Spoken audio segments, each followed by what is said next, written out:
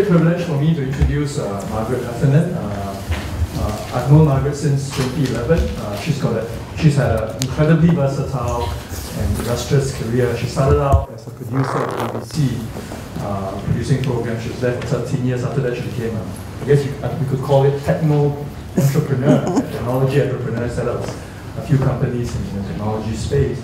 And I think, but I think we really know Margaret for being a writer.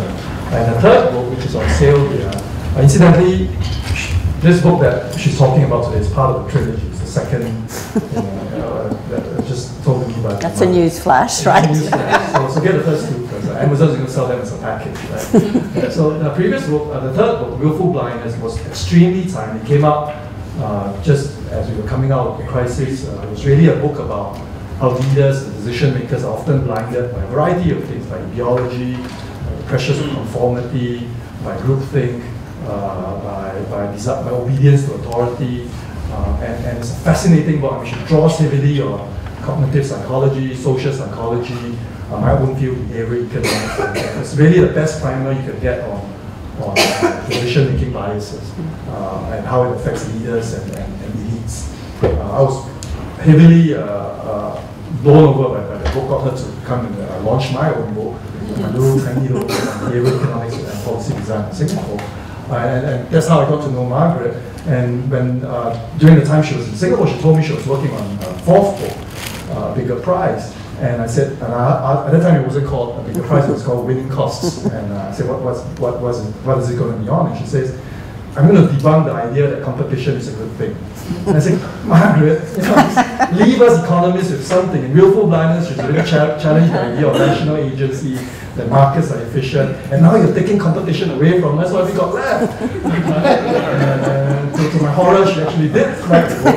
It's 30% longer than, uh, than willful blindness. Uh, I heard her speak about it at Kinokuniya. It's fascinating. I've been reading it. Uh, there are a couple of stories in Singapore which are, which are, which are really uh, wonderful stories. Uh, but I wouldn't give too much away because uh, uh, for the next hour or so, 40 minutes or so, we may hear from Margaret. We have plenty of time for questions as well. So please join me in welcoming Margaret.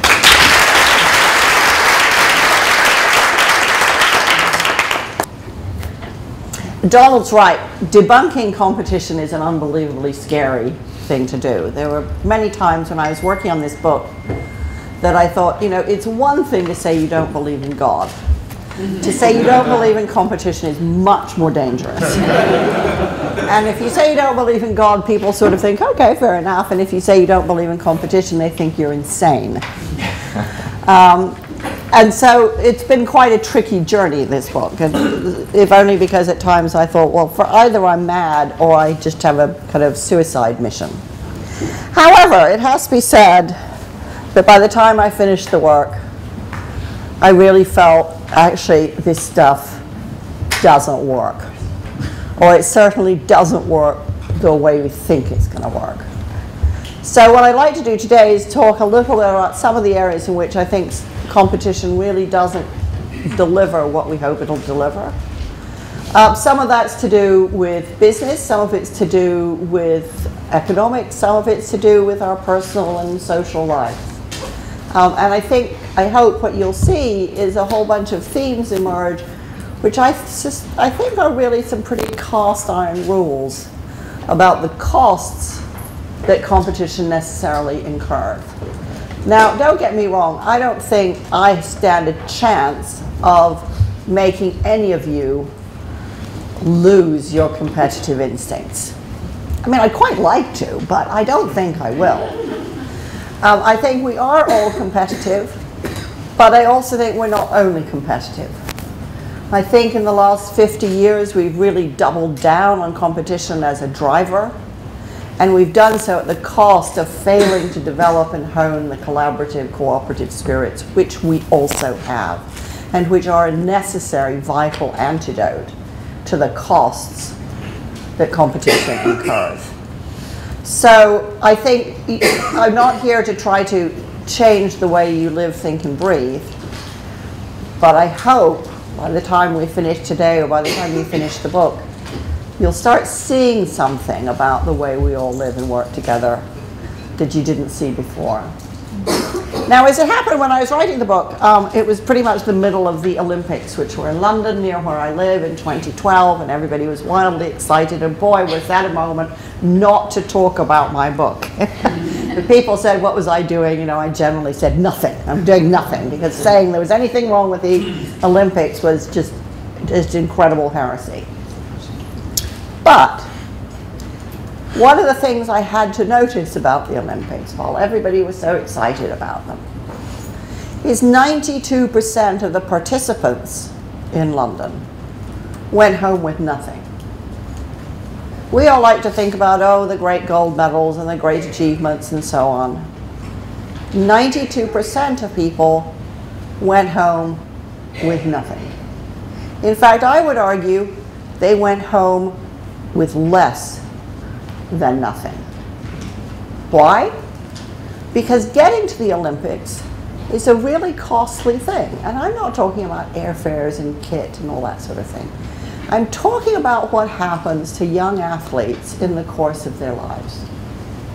One of the athletes that I interviewed, a young woman named Erin Jeffrey, and from the age of about 11, Erin was a very, very fast swimmer. And she would get up at 5 o'clock every morning. Her mother would drive her to the nearest training center. She would train in the morning. She'd go home. She'd go to school. At the end of the school day, she would go back to the training center and she would train again. And she did this from the age of 11 to the age of 18. And she was one of the top 10 fastest swimmers in the UK. Now, what did this mean? It meant this girl had no adolescence. She had no social life. She struggled to keep in touch with her friends. She struggled to keep up with her classwork. All she did was swim. Now, her great swimming got her a scholarship to Loughborough University, which is a top sports university in the UK. And guess what? She got to swim more and she got to swim against her friends. And at the end of her second year, she quit. And she had an agonizing decision to make. But she said to me, you know, in the end, I quit because I thought, I really want to have an education. I want to come out of this university with a halfway decent degree that suggests that maybe I might have a career one day. And I want my friends I want some time to live. I want my childhood that I never actually had. And as she talked to me about the decision, although it had been taken a year earlier, she was still in tears about it. There was still part of her that thought that quitting made her a failure. But she also recognized she had probably quit just in time. Because the truth of the matter is, when you start talking to people who did make it to the Olympics, and even the ones who did have make medals, when their careers end, which is astonishingly quickly, they have no skills, and in fact, I would argue they are de-skilled for life. Interviews um, with some of the people who took part in the Sydney Olympics, who are now, you know, mature adults, and I always did something where I could measure how well I was doing. But now I'm a teacher and I'm trying to teach kids and I can't really tell if as a teacher I'm getting that much better. And I don't know when I've hit my goal because there isn't a goal. And what she was expressing was that this profound focus on targets, which she had spent the formative years of her life developing, actually turned out to be very bad preparation indeed for the inchoate, complex, subtle achievement that real life requires. Other ex-Olympians talk about the degree to which their notion of success was always predicated on making other people lose. And they found as they went into adult life that actually that didn't get them very far. So as much as we celebrate things like the Olympics, as models of human achievement, I think there are a lot of questions to be asked about is this really the model of achievement that we want, where complex human development is sacrificed for short term goals?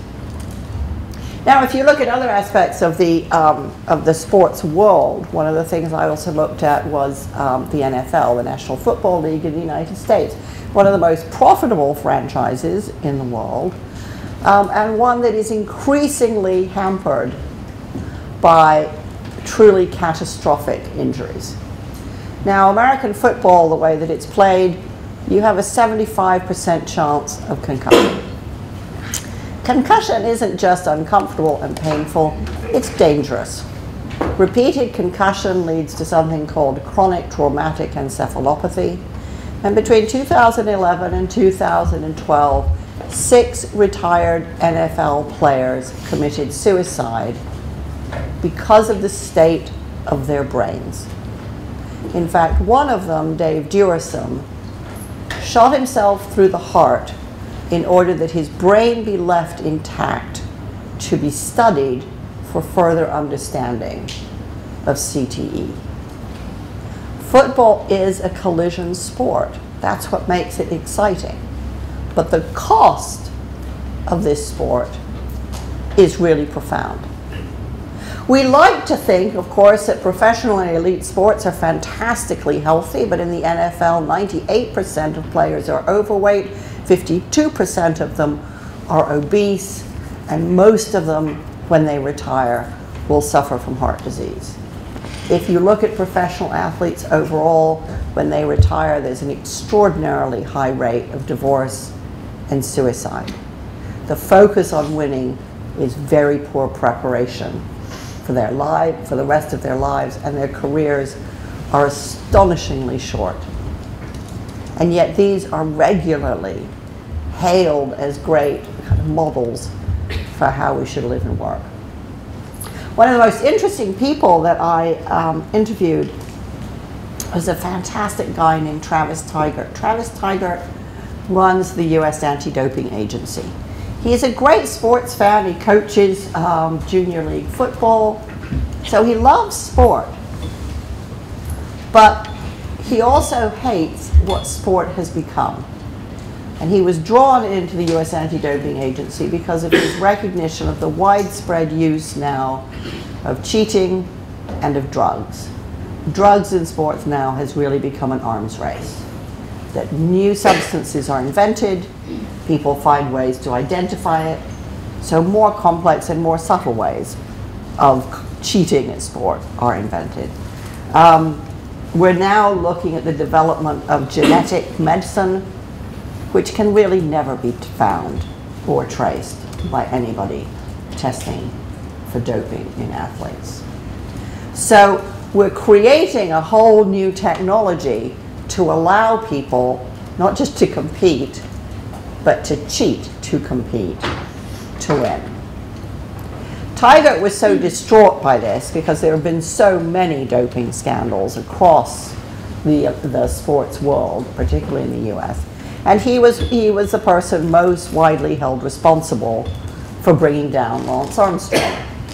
But he was trying to figure out what is it that's gone wrong? Why do we have this explosion in cheating, corruption, and doping in sports?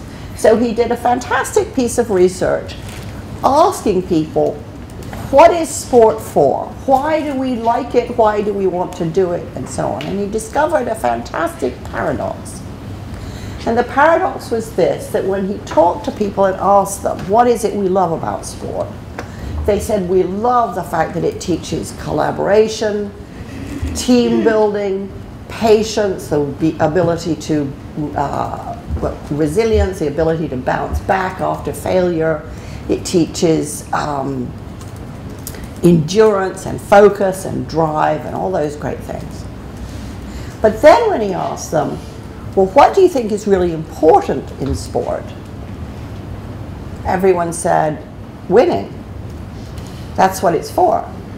So everything we love about it isn't what everybody thinks it's for. And what he realized was that what we've lost in the focus of, on winning is the ability to do sport for fun and that the more we have publicized and promoted and celebrated elite sports and the Olympics and hugely successful celebrity athletes, the lower the level of participation in sport has become. Because what kids are picking up is this is all about winning, and if I can't win, well, what's the point of playing? The idea of sports for fun has gone.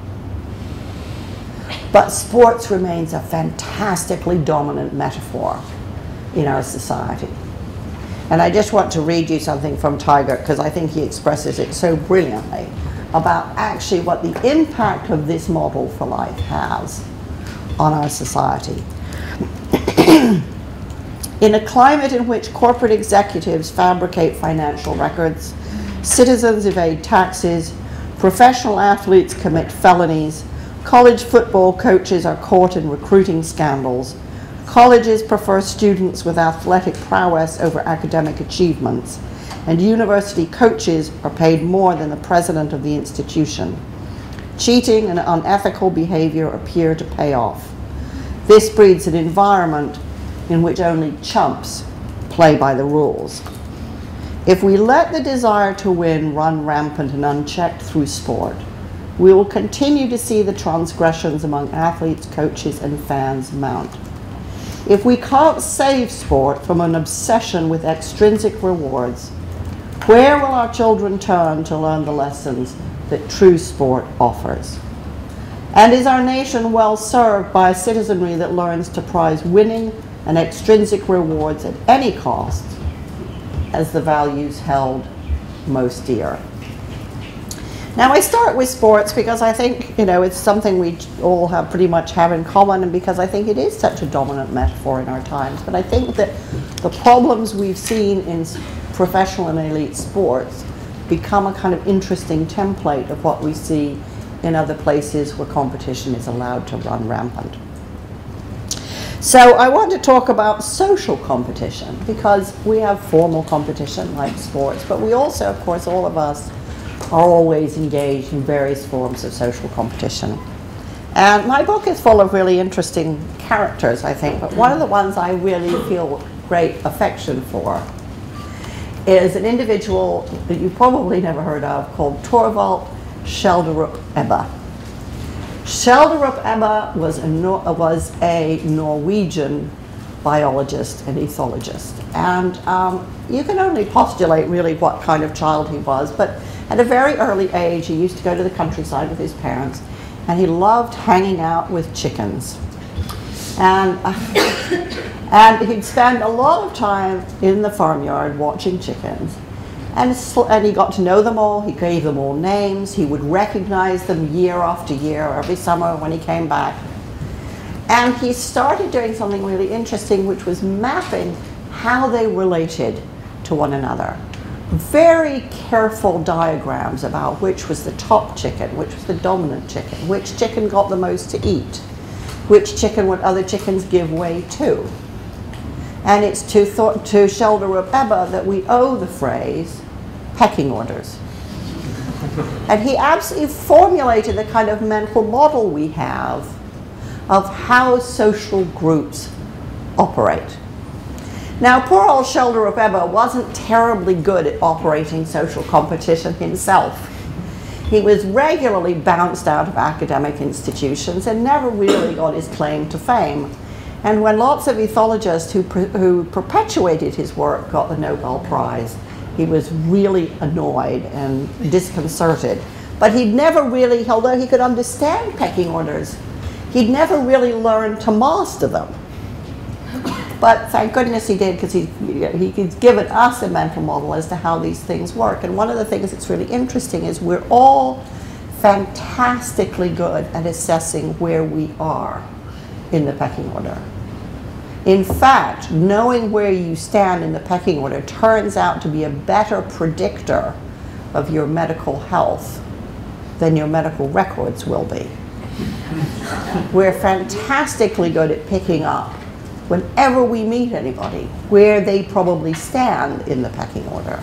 And we've noticed this from things like body language and tone of voice and the way they speak. It's an absolutely instantaneous evaluation. There's a fantastic study of teenage girls who were interviewed as a way to, uh, uh, some sociologists were trying to understand how can we get teen girls to stop smoking. So they thought, well, let's figure out what the pecking order of teenage girls is. They interview all these teenage girls and they use almost exactly the same language as Schjelderup Ebbe. They know exactly who's on top, who's in the middle, and who's at the bottom. And quite interestingly, what these researchers found is that in that social structure, where the stress is, is at the top and at the bottom. The people at the bottom are afraid of being kicked out of the social group altogether, and the people at the top are afraid of losing their dominant position. And as it happens, they're the smokers because they're trying to show what daredevils they are. So what they concluded is if we get those people to stop smoking, everybody else will. But the note, the identification of stress at the top and the bottom is really telling because all of us inhabit hierarchies. And most of us, of course, necessarily are in the middle. But what we know from the study of organizations now is that just as with the teen girls, the stress is at the top and the bottom. Now that's in very volatile times which I would argue we live in now. In very stable times, the stress is only at the bottom. And there's a fantastic and very important study done by Michael Marmot of 10,000 Whitehall civil servants that showed if you're at the bottom of the Whitehall pecking order, you have, uh, you your, the death rate of those people is three times higher than those above them. So that where you stand in the pecking order has an absolute implication for your physical and your mental well-being. A, um, a, Finnish researcher followed on Marmot's work, because this is lifetime studies of people working within a single system, Martti Virtanen. And what she discovered is that in very volatile environments, one of the things that happens is that people feel enormous pressure, stress, to work longer and longer hours. And so these very stressed people at the top and the bottom, if they're working 11 hours a day or, or more, have disproportionate cases of depression, dementia, dementia, and cognitive failure from the age of 55. So pecking orders have a huge impact on mental and physical health, and they also have a huge impact on cognitive ability. What, there are very few laws in psychology, but one of the few laws is something known as the Yerkes-Dodson law. And the Yerkes-Dodson law, which dates from 1905 and still hasn't been challenged, says that under stress for really low order tasks, we'll all rise to the challenge. So a moderate amount of stress for a pretty simple task will be quite motivating. A lot of stress for a complex task and we actually lose our ability to solve problems. So with very steep pecking orders, what do you expect to find? You expect to find that people become less intelligent, less creative, and physically less well. Now, we all live in these pecking orders. And one measure of them is something called power distance, which is essentially how steep is the hierarchy a lot of work has been done on power distance, and actually there's a cool little app you can get now, which will tell you in any country in the world what the power distance ratio is for that society. And actually now I'm thinking about it, I should have looked up Singapore, but maybe I shouldn't have. and the important thing about power distance is it's a really existential measure of how people feel about one another. So people at the top of the very steep hierarchy, it isn't just that they have more power and greater distance from everybody else. They feel existentially superior, as though they are better people. And it's interesting because I was, um, I was working in a bank yesterday, and we were having a really interesting conversation about the degree to which you know, some of the extraordinarily high pay we've seen in banks has the impact of making people receiving that high pay feel like they are existentially different people. And part of what that does is it gives people a sense of invincibility, that they can do anything. And it's quite striking when Anthony Salz came to investigate LIBOR manipulation by Barclays Bank that those bankers absolutely felt invincible. The money made them feel that they were so superior that they couldn't do anything wrong. And you can see this in other scandals. I would argue you can see it in the way that John Browne ran BP. You can see it in the way that many banks have been managed. Um, and you will see it in the kind of aberrant behavior of people like Dominique Strauss-Kahn, who think they can really pretty much get away with anything. So the, the steepness of a hierarchy has a very distinct impact on people within it in terms of what they think they can do. And one of the really interesting things is as I was working on this, I thought, hmm, so I wonder if there's any kind of correlation between power distance, so steep hierarchies, and corruption. And as it turns out, there is an absolute correlation. The steeper the hierarchy, the higher the level of corruption. And that may be because people at the top feel they can get away with it, or it may be that the people at the bottom feel that they can't play by the rules because the rules won't play by them. What this means, of course, and I'm sure Donald's already got there mentally, what it means is the steeper the hierarchy, of course, the greater the levels of inequality. And we know that inequality is associated with higher levels of violence, worse levels of health, less trust, less social capital. So hierarchies and the competition that so severely divides winners from losers has a very distinct impact on the way we live and the people that we live with. Now, hierarchies aren't inevitable, and of course they're relative. So you can look at societies which have very low power distance. You can look at countries like Finland or Denmark, and or Canada, or certainly Canada as it was, um, and you can see that in those societies, people regard each other fundamentally as being different but equal. They look at teachers not as superior people granting a little bit of information, but as collaborators who are sharing what they know with students who also have something to offer. And one of the things that was really interesting, I went to Finland to study their education system, which because it's the most high achieving within Europe.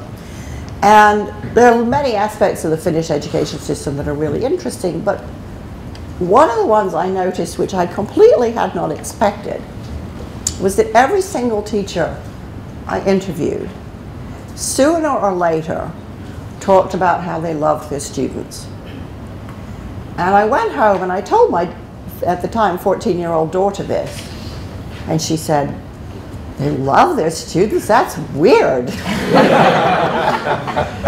and uh, she's in school in England. and, and, um, and I started, so at one point I asked a high school principal about this, and I said, all these teachers keep using this weird word, right? love. And she looked at me and she said, well, why wouldn't I? Of course I love my students. You know, I stay in touch with them their whole lives. I run into them on the street. I want to know how they're doing. And I know as they grow up, they have lots to teach me. Why wouldn't I love my students? So this is a fundamentally different, profoundly non-competitive, profoundly non-hierarchical approach between human beings. And what's really striking talking to the Finnish teachers is that they think they have as much to learn from each other and from their students. And they think of themselves as lifetime students because they're learning always how to be better teachers. So this is a totally different model from the win-lose, high-low authority mental model that a competitive society imparts. Now, on the whole subject of education, I'm always nervous talking about education and educational institutions. But you know, one of the really key issues um, around competition here has been the notion that well, if you make an educational system really competitive, surely that's how you identify the best and the brightest. Well, that's kind of fine if you accept two things. The first thing that you have to accept is if you're going to do that, you're going to waste a lot of talent. So one of the things that's really interesting in Finland is the reason it has the education system it does is it's a tiny exposed country that in the 1960s decided they couldn't afford to waste anybody. That the mark of their success would be that everybody succeeded. so if you accept that you don't need everybody, competitive education will probably do for you. And Margaret Thatcher absolutely said she thought really the wealth of any particular country depended on just a few people. So if you believe that, and she did, and other people do, then a competent, then an education system that produces a lot of waste and losers is okay. But it also assumes that there really is a difference between talented people and untalented people. And this is subject to a lot of challenge. So there's a fantastic experiment in which there's a school of um, 9 to 12 year olds and the teachers are told that all the kids have been tested and out of these tests there are about 12 exceptionally talented kids. And the teachers are just told that just, you know, on the grounds that you may notice this, the tests reinforce it. You know, you're very lucky in this cohort of kids. We have some real superstars. And at the end of the year, lo and behold, these kids have done indeed exceptionally well. There's a trick though. They've been picked completely at random.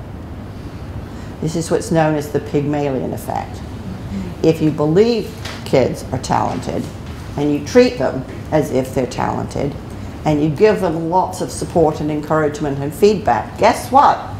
they'll be really talented. and what's really interesting is you can do it with adults too. So there's a sort of um, similar study done with platoons in the Israeli army.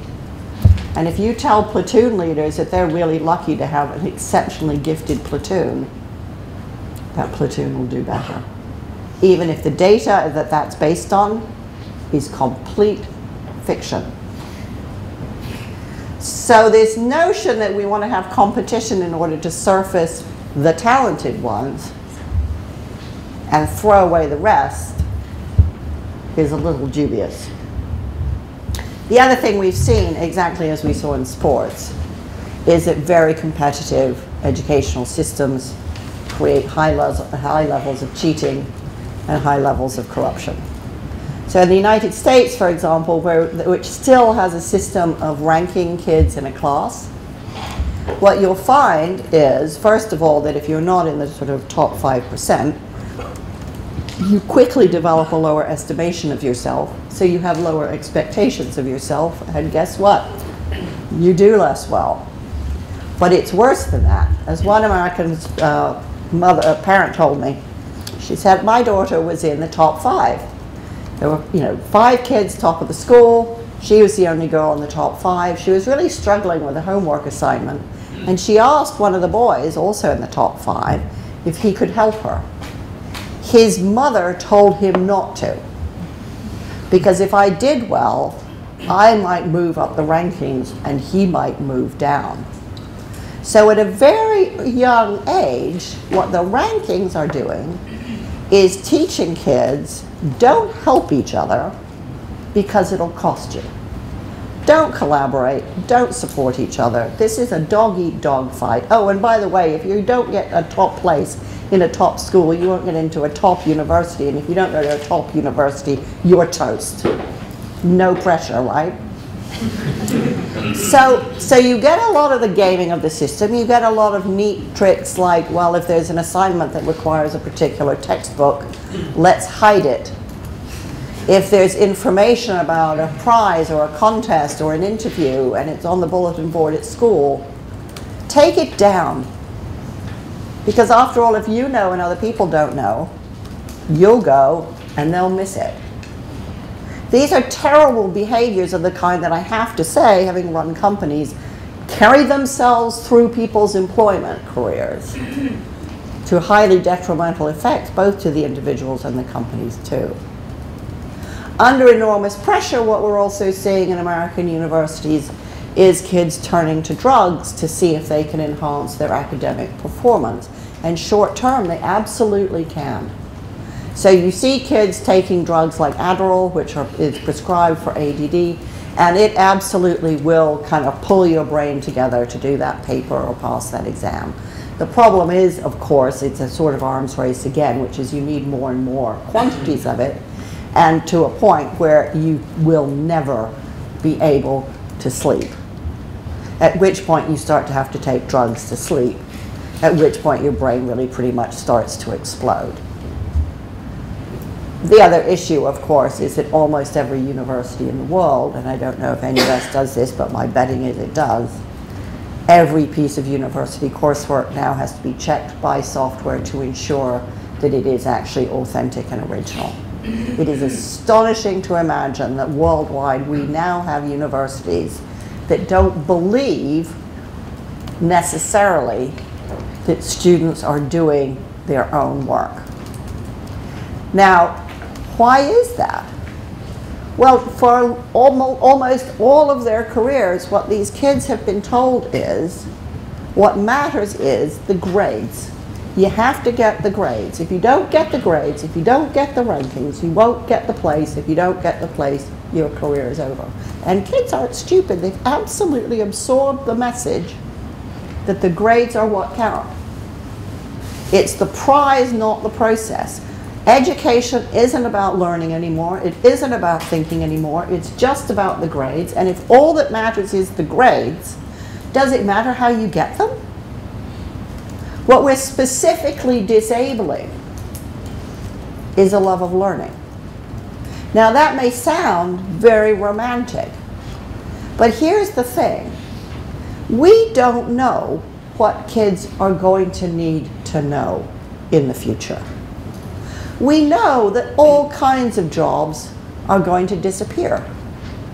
We know that you can now do huge amounts of medicine using software. We know that you can use, do huge amounts of the law using software. We know that we can start to automate audits. We know that you can use software to generate journalism.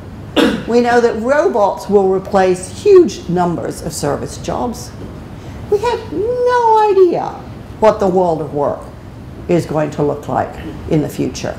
But we certainly know all those safe havens of doctors, lawyers, and accountants aren't very safe anymore. So we don't know what information and knowledge kids are going to need. What we do know is they're going to have to be really good at learning lots of new stuff fast. We need them to be ace passionate learners even if we don't know what it is they're going to be learning.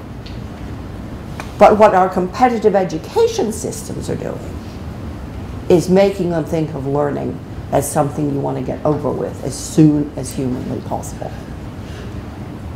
Now, this isn't universally true, thank God. I would argue it's not true in Finland, it's clearly not true in some exceptional schools.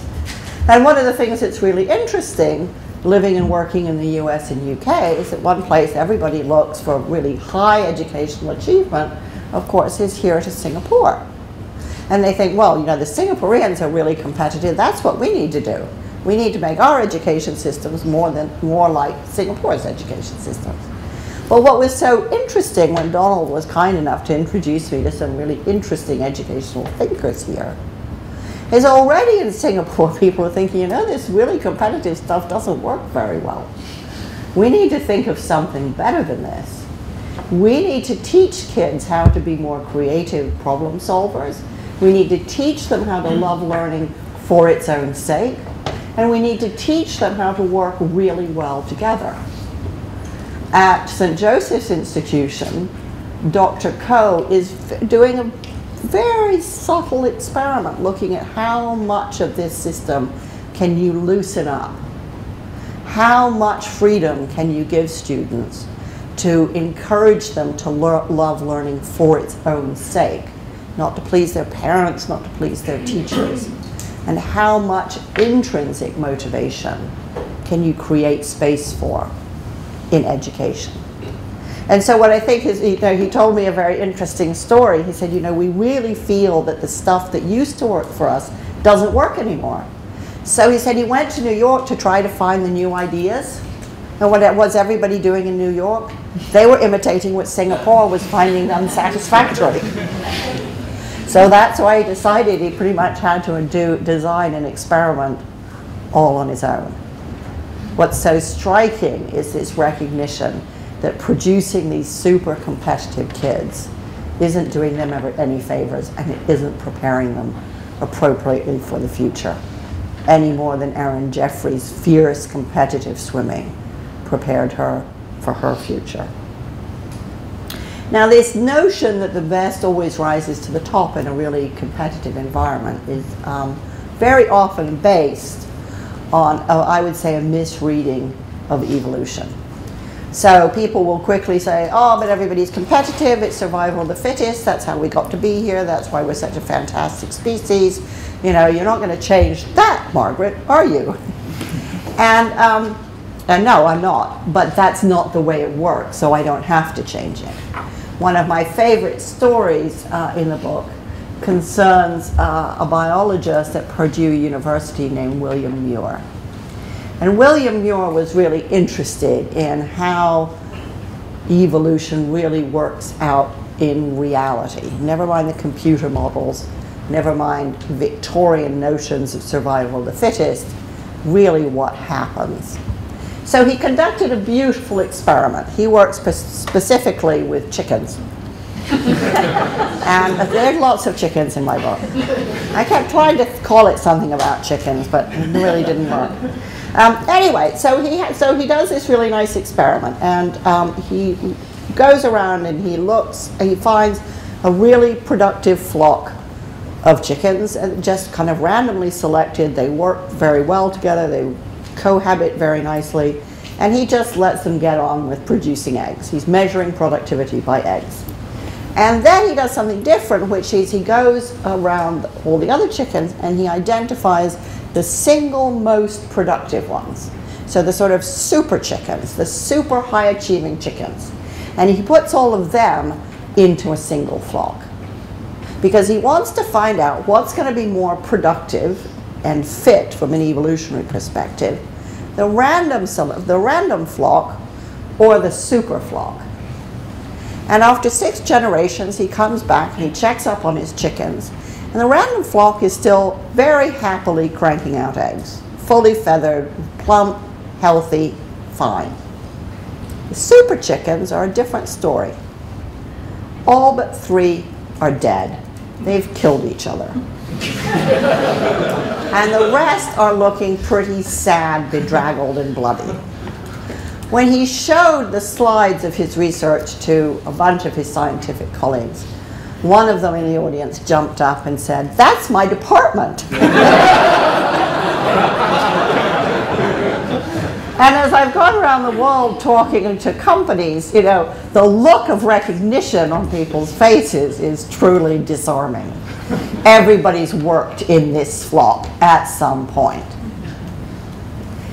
And what we know from chickens and from human experience is that this isn't productive.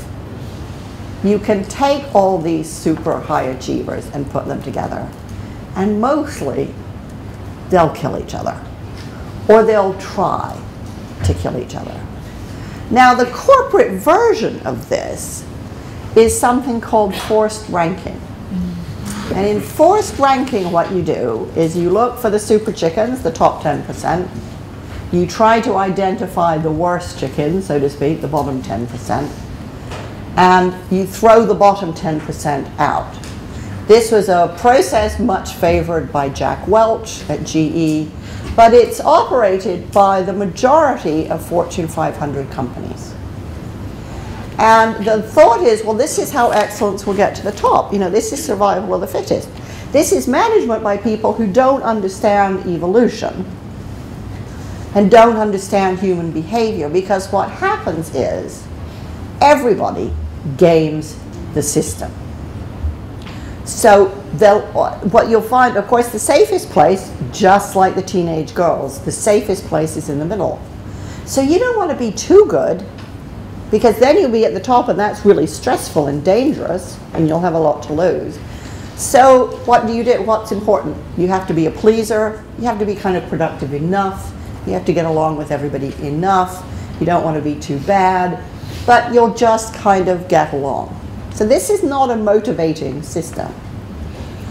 I did a lot of work with Intel, and Intel has a specifically a specific problem around innovation. This is a very real problem for a company. It depends 100% on its capacity to innovate. And Intel has run forced ranking for, for decades. And when you talk to people in Intel, they'll say, well, it's really simple. I mean, we see this play out all the time. Keep your head down, be a good citizen, play by the rules, and just stay off everybody's radar screen. The people who have wild, risky ideas, they either get thrown out or they leave. And when Intel kept asking me, what, you know, how do we make our people more creative? I can come up with lots of ways to make people more creative. The first step is get rid of this system which Intel has not done, but interestingly, shortly after I um, finished my book, Microsoft has. Microsoft, which has had a profound innovation problem, which missed the internet, which missed databases, which missed mobile technology, and came late into the gaming world and into the mobile world, has finally acknowledged that maybe its forced ranking system isn't the way you get the best out of really creative people. The notion that you put lots of people into an arena and make them slug it out isn't what leads to a very creative, dynamic environment. It profoundly militates against collaboration. It means that people don't share ideas, just like high school students don't share library books. And it means that people are more concerned for their own survival than for the sharing and generosity, which is the fundamental basis of, of creating good ideas and watching them grow. Now, I work currently with a company that must remain nameless, uh, based in Switzerland, and it's really very interesting because having written all of this stuff, uh, when I was working with the company, I suddenly realized I was seeing all of it in one place. So I was seeing a lot of very hyper-competitive people run by an extraordinarily competitive CEO whose notion of a good meeting is to beat up everybody in it. Um, the company has forced rankings, which people rather kind of randomly manipulate, so nobody trusts it or believes that it's a true evaluation of the people inside it. And every meeting, which is supposed to be a discussion, which in my book means you're trying to explore, looking for the best ideas, is really a kind of turf war where somebody's trying to win. Now, if you're trying to do innovative work, as this company is, going into any discussion trying to win pretty much guarantees that the discussion isn't going to be very productive. So competition is rife across the company. The CEO absolutely believes that this is what's going to make people work harder. And the consequence is that the best people, the outliers, the ones who actually are very creative, have all left.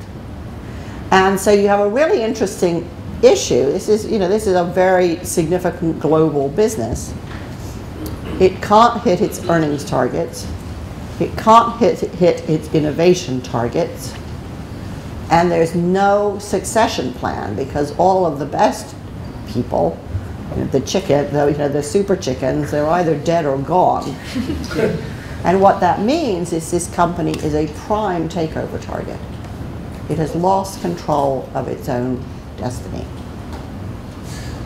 And that is the, out, the, it's the outcome of this complete belief that competition is going to bring us the best. Now, I'll very quickly, because I'm sure we ought to really be discussing this and not listening to me endlessly, but so there are a couple of other key things I would say, because this is really all about competition between individuals. Um, there's a big section in the book looking at competition between companies and organizations. And I'll just make a few comments about that. First of all, there's a theory, an economic theory, sorry, Donald, which says the great thing about competition is it produces a wide diversity of goods and services which provides choice for the consumer. Sounds really good, doesn't it? Well, when I was writing Wilful Blindness, I interviewed um, someone who ran a big bank in the Midwest of the United States. And, um, and she said, and I was interviewing her about the economic crisis, she said, look, Margaret, we weren't blind to how bad subprime mortgages were. Everybody knew subprime stank. It was ripping off poor people. But here's the deal. We're in a competitive marketplace for salespeople, and if we couldn't offer them these high commission items, they'd all leave. So we had to sell this stuff because everybody else was selling it. And I thought, I mean, that was actually the germ of this book. I thought, hang on a second, that's not the way it's supposed to work. In this case, competition wasn't creating a wide diversity of choice, it was making everybody do exactly the same thing. That's what bubbles are. When competition drives people not to create diversity, but uniformity and conformity. So competition wasn't delivering the choice, it was actually accelerating the risk.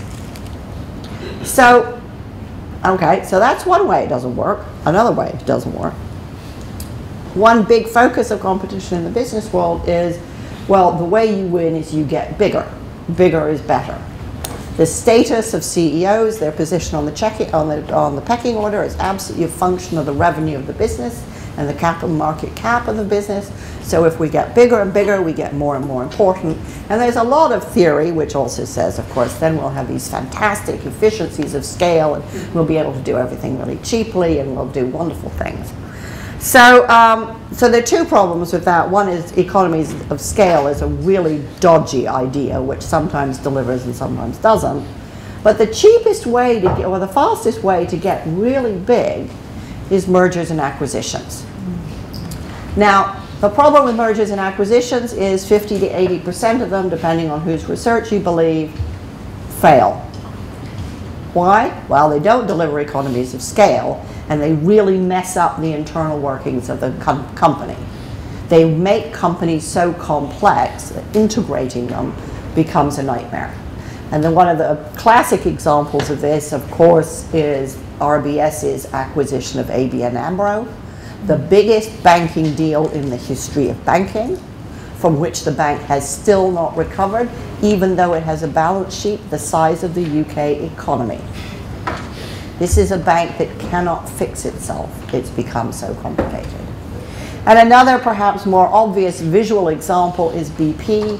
BP was turned into a super major under the leadership of John Browne, who bought huge oil companies and smushed them all together. After doing that, of course, the company was burdened with enormous debts, so they did cost cutting. This is what always happens. You have mergers and acquisitions, you have debt, you have cost cutting. 25% cost cutting in BP for three years, which led to the refinery fire at Texas City in 2005, which killed 15 people and injured 100 the oil leak in Prudhoe Bay, the biggest environmental disaster in the United States until BP's Deepwater Horizon. I would argue all of those things can be traced back to the passionate belief, clearly articulated by John Browne at the time, that we have to be big.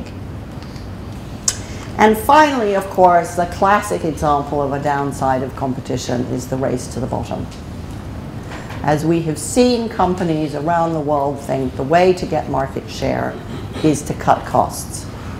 And of course, the way you cut costs, primarily, after you've done efficiencies and all those good things, is you look for cheaper and cheaper labor.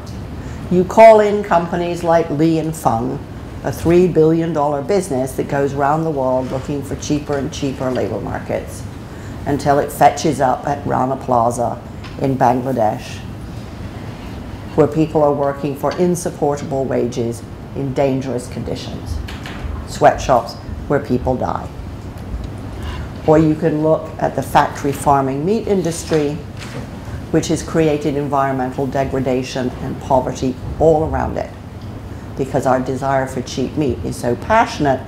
And who really cares about the poor people who live around factory farms on land that they can't sell to anybody? That's what competition has brought us.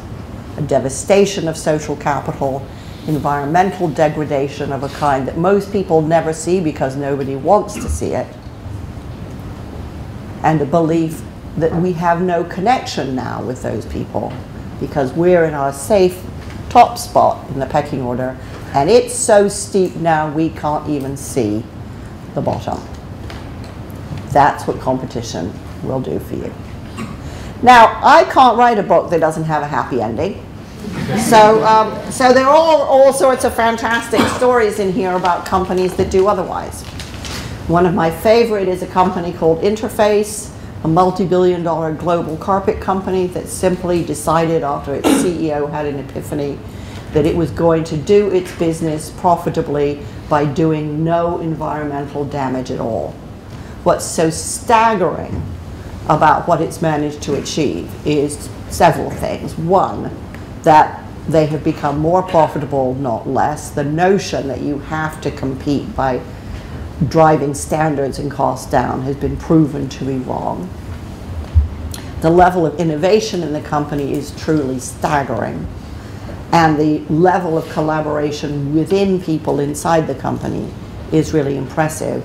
But perhaps most impressive of all is that as they have achieved technical breakthrough after technical breakthrough, instead of doing what competitors do, which is hoard the information so nobody can see it, they have shared it with anyone who will ask on the grounds that this is what the planet needs. Once you abandon the competitive mindset, you get to a point where people can develop the social capital between us, between them, where they can play to a mission that is more inspiring than survival of the fittest where they can make the breakthroughs we very badly need today. And then when they have them, they're prepared to share them because they understand, as one CEO said to me, that actually nobody wins unless we all win. Thank you all very much. Thank you very much, Margaret. Now we've got about 20 minutes for questions. Uh, could, we, could I invite uh, questions on the floor? I bet some of you were thinking when she was talking, Margaret was talking about super fox because we were thinking about the gifted education program. no, I'm just reflecting on your point about the feedlots and the meat. Mm. And uh, of course, there's no thinking about the intended and unintended consequences that all of that meat is, is creating the most unhealthy country in the world. Right. I mean, the meat is bad. Yeah. Again, right. Now, the externalities around the meat industry are just mind-blowing, absolutely mind-blowing. I mean, it's partly it's creating an obese population. It's partly the environmental degradation around factory farming. It's, it's just, it's everywhere, in the water table, in the air, in the clouds, you name it. But I think particularly the absolute devastation of the communities around these places is really striking. I mean, much of this industry is, is in North Carolina. So these are previously tobacco farms. And before that, this is really where slavery took root in the United States. And it's still there. I mean, you feel it as you drive around these places because you have incredibly poor, disenfranchised black people it, living in a horrible environment and they can't move. And nobody hears them or sees them. Richie? Thank you for, for very illuminating so long. I'm Dongqi, and um, especially terrified now because uh, I'm a new PhD uh, graduate of the school, so your pecking order and health. Uh, and to make it worse, I'm married to a banker. So. Yikes. I, have two questions. First, I wonder whether the role of luck has um, any place in your analysis, Mhm. uh, especially about you know the entitlement of the people who are successful. And second, whether we need a new lexicon. Uh, this notion of being the best in competition is really the most efficient way of uh, making decisions. Mhm. You don't have to justify your judgment because Right. they are the worst and they don't lay any eggs. Um, whether we need a new lexicon for this notion of best. Mhm. Thank you. That's a, that's a really great question. I think in terms of a lexicon, you're absolutely right. Um, I think that how we identify the good uh, really needs a very different kind of matrix. So I think it's, and I think this particularly, for example, when I go into companies, typically in the business world, people say, well, this is a really good company if it's really profitable, if it's really big, and if it's really growing. And I would argue that in my book or my lexicon, I would say it's really good if everybody in it is flourishing, if the way in which they're flourishing is sustainable, and if it's sort of like a living organism, is it spawning other things? And one of the examples I'd give is I visited a company called Ocean Spray, which probably all of you know because you probably all drink their cranberry juice. And this is a really interesting business because although it's this great iconic American brand, in fact it's a cooperative. And the business is owned by 750 cranberry farmers. And they have two goals. They want to get a good price for their crop, and they want to be able to hand their farm on to their children. The chief executive of the company thinks that his job is to serve them. So this is also a different model of leadership. And what and whether you're a big cranberry farmer or a little cranberry farmer, or whether you're somebody finding more and more uses for this bitter little red fruit, or whether you're advertising the company, everybody has to do well for the company really to flourish. And I think it's a really fantastic model of what a good company or a successful company really looks like. And I'm sorry, I forgot your first question. Luck. Oh, Well, I think the thing about luck, I mean, I, th- I think luck's really important, although there's a lot of evidence that says that luck is mostly about being observant. So people who think of themselves as lucky, you can do an experiment, you know, and they're more lu- they're more likely to see the dropped penny on the street. So, um, so part of luck isn't lucky; it's a habit of mind. But I also think that um, I think that you find people who believe in luck, who tend to have a, no, a greater notion that we're all equal, we just have different opportunities. And then you find people who come out with this great phrase, right, you make your own luck. In other words, I'm incredibly successful and it was all me. uh, because I am existentially superior, right? And I think there definitely are people who, who buy into that notion. They also buy into the notion of, you know, that there is such a thing as real talent. Um, and I would argue that actually most luck is about how generous you are to other people. Because, you know, being lucky is really about knowledge, and knowledge is about networks. And then there's just also random, you know, incredible, unpredictable nonsense. And you can't run your life on it, so there's a point at which you have to discount it, right? Because you can't plan it, organize it, save it, load it, you know, anything. It's kind of like weather. Thanks, it's very interesting. Um, having grown up in Singapore, I can sort of relate to a lot of what you said in terms of the hyper-competitiveness Mhm. of our educational system. But at the same time, you know, I'm wondering when you think hyper-competitiveness or competition is good. Um, you know, I think about a company like GE. You know, despite their extremely Darwinian system, you know, Mhm. they, they did perform fairly well under Neutron Jack. So you know, perhaps it's a case of competition actually being pernicious or damaging for the people within the system, but actually, you know, the organization as a whole actually does can still do fairly well.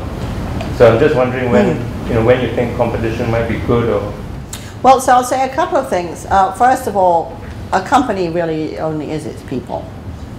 There is no company. A company is a completely abstract concept, so it is only people. So, so if the comp- if the people aren't flourishing, the company won't flourish. And you could say, well, wow, if they had, didn't do forced ranking with such zeal, might they have done even better?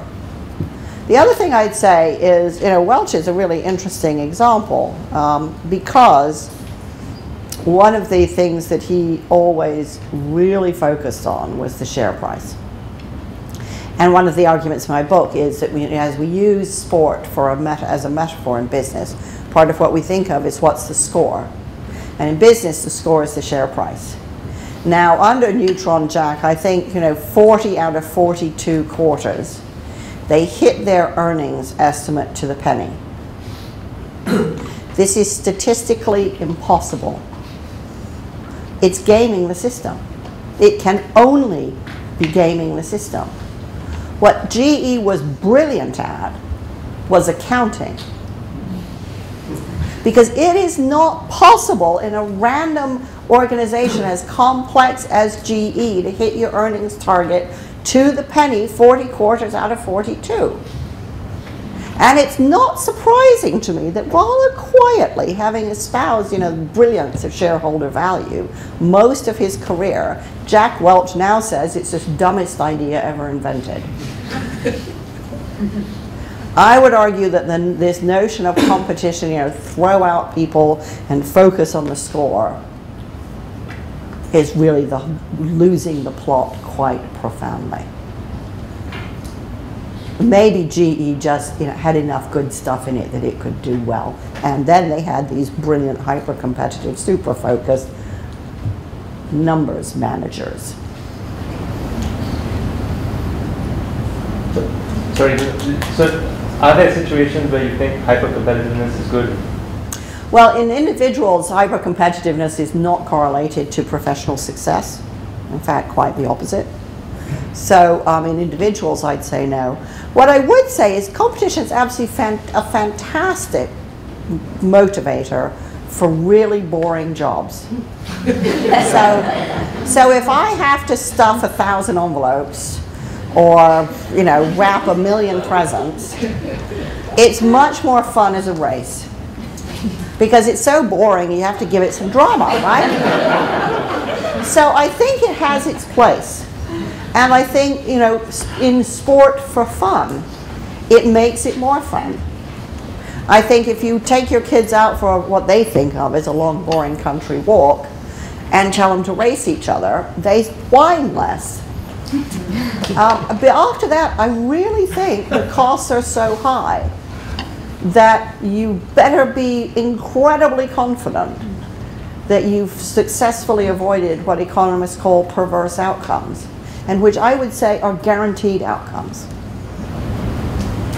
So, isn't a lot of the criticism of elites not that they are hyper competitive, but in a way hyper collusive? For instance, like the property developers in Hong Kong, the, the government.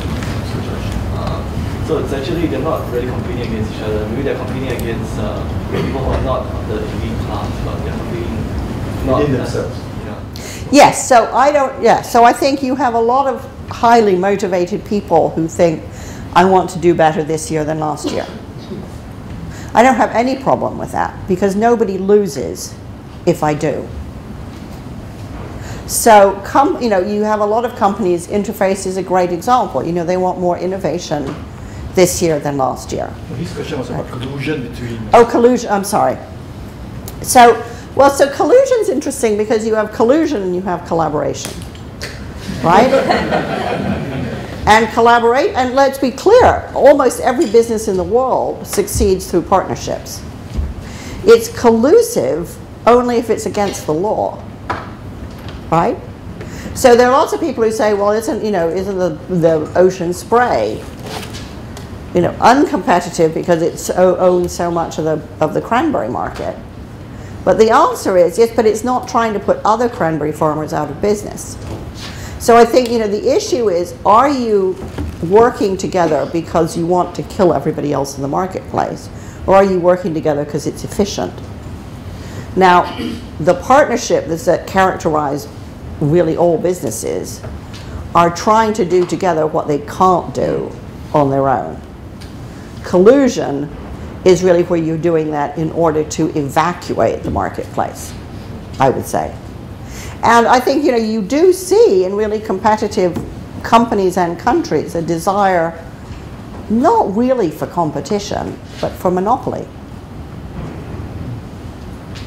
So they say they like competition, but really what they're trying to do is get to a point where there isn't any.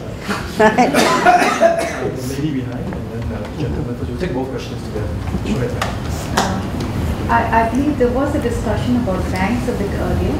Just wanted to talk about the Equator Principles and a number of uh, financial organizations that came together to embrace the Equator Principles of sustainability. Um, this was pioneered by the IFC, I believe. But um, there was a study recently where Standard & Poor had an index which uh, actually observed what happened over a period of four years to companies that have followed the Equator Principles and there was a significant divergence in performance. It was much better. The, This group of uh, companies' performance was much better than those that didn't do sustainability. So I would argue that even among uh, institutions, financial institutions, um, investing companies and banks, that realization is uh, very much dawning that you need to work together and collaborate. Yeah. So, um, most companies have a force ranking system with the objective of keeping employees on their toes to be more competitive so that they don't become complacent. And these companies also have uh, values such that compete fairly, collaboratively. So, uh, I, I believe in it. And uh, because I happen to work for one, or used to work for one that really believed in it, and that was GE. Uh, and uh, when we compete fairly, because we are evaluated on how we compete, so it's not a win at all costs at all in GE. And uh, so my question is, when you remove or going by your book, Margaret, uh, when we take away this part about competition, say it's just totally collaboration, how then do we have these companies to help their employees not to become complacent, that they still maintain that cutting edge, that they still want to give off their best, and yeah, and just uh, be on their toes. Yeah. So it's interesting because when I um, was doing the event at um, Kinokuniya, a gentleman in the audience said, "Well, if you let you know, if away competition, won't everybody just be lazy?" Um, so there, in business, there's sort of there's this thing known as theory X and theory Y, right? So the X's and the Y's don't stand for anything. Uh, it just makes business sound like science, you know. um, and you know, theory X says, you know, that you have to that every everybody who comes into work doesn't really work, is fundamentally lazy, doesn't want to do anything, just wants to get paid. And theory Y says that actually people turn up to work to do a really good job, and actually you have to create the conditions in which they can. And you can pretty much identify from you know, any business as, as conforming to one or the other. As you might gather, I'm pretty profoundly committed to the theory Y school of management. I think that people do come into work to do a good job, you know, 99% of them, 99% of the time. I think that people are fundamentally creative. I think that much that we have invented as management styles is designed to kill that creativity. And, um, and that we're actually, managers are quite afraid, not of laziness, but of what people might do if we gave them more freedom. And it's quite interesting, there was a report that came out about a month ago looking at high freedom and low freedom companies. And they're talking about freedom to and freedom from. And what's really clear from this is that in high freedom companies, you have higher levels of innovation, higher levels of sustainability, and higher levels of profit. So I think there's a real question to be asked about how much our management techniques are kind of, you know, keeping the animals in their cage and how much they're really liberating the human capacity that people bring with them. And, um, you know, and I think G, various parts of GE did that better than others. Um, but I also think, you know, I'm very certain that making people afraid doesn't bring out the best in them. There's absolutely no evidence to suggest that it does. It'll make them obedient, compliant, conformist, you know, but it won't bring out the best in them. And actually, what's quite interesting thinking about banking is that one of the things that the major banks are now really concerned with is now there's so much regulation and compliance um, is any level of creativity going to emerge in these institutions? So everybody is really kind of being tightly managed, but is anybody going to think outside the absolute kind of requirements that they're that they're being given? I think the other thing I'd say, which was is really an insight that came to me from um, someone who worked in one of the bigger hedge funds. The problem with really competitive organizations or cultures is nobody feels responsible for them. So if I'm a winner, well, I'm fine, so I don't care about the system as a whole. And if I'm a loser, I don't care about the system as a whole because it doesn't care about me. So no wonder we have really big issues of accountability. You know, there's no social contract in a competition. And so we can't be surprised that nobody wants to care about the social organism because we haven't given them any reason to. Um, You're proposing the unraveling of an extraordinarily complex beast. And I'm wondering what you think the most immediate key steps would be? Mhm. Well, actually, what's really interesting. Okay, I'm sorry. Yeah, just, just, yeah, just keep it short though. Sure. Um, thank you very much for sharing um, about uh, the possible side effects of competition. But on the other hand, competition can be applied in a positive ways. So, um, for, so uh, I'm beginning to think that perhaps it's not competition per se, but perhaps it is the elite or the leadership having not created a social system that capitalize on the advantages of the competition. Um, for example, in Singapore, we're talking about meritocracy having gone uh, carried to the extreme, and we there, there have been debates about uh, compassionate uh, meritocracy and how we can create a system that uh, that's more inclusive. So perhaps it is the leadership who needs to create a social system, a social structure to build a better society. Your thoughts? Just take, take one more. I'll Okay. read the question. Yeah, what do you think of political competition? Oh, God. Okay. It's enough for you to chew. Yeah. Um, right, so I think the issue around meritocracies is the people who believe it or the people who believe in it tend to be the people at the top. and um, and I think that's I think it's really hard for people at the top to try to design a social fabric for those whom the system has not favored. I think that's just really, really difficult. Um, and I know there's been a lot of debate lately around kind of social mobility and so on, and, and declining rates of social mobility. And uh, you know what we're seeing is that meritocracies are fantastically self-perpetuating and self-enriching, and the rest is kind of increasingly abandoned and impoverished. And can meritocrats uh, rebalance that? Yes, up to a point.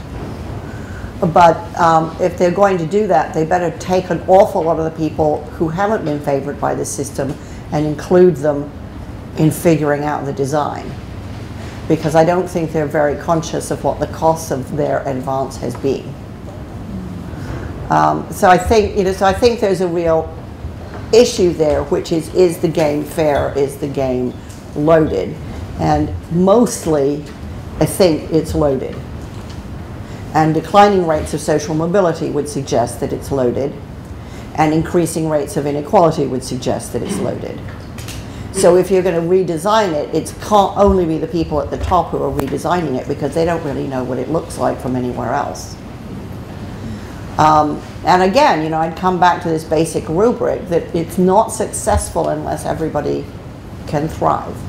Now, that doesn't mean everybody's going to thrive in the same way or equally, but you have to ask, you know, is everyone really given the opportunity fully to develop their capacity? And I would argue in, in many competitive environments, the answer is no. Um, in terms of political competition, I would say, you know, coming from the United States, it's an absolute disaster. um, and we've seen exactly the same thing, which is gaming the system in terms of campaign finance.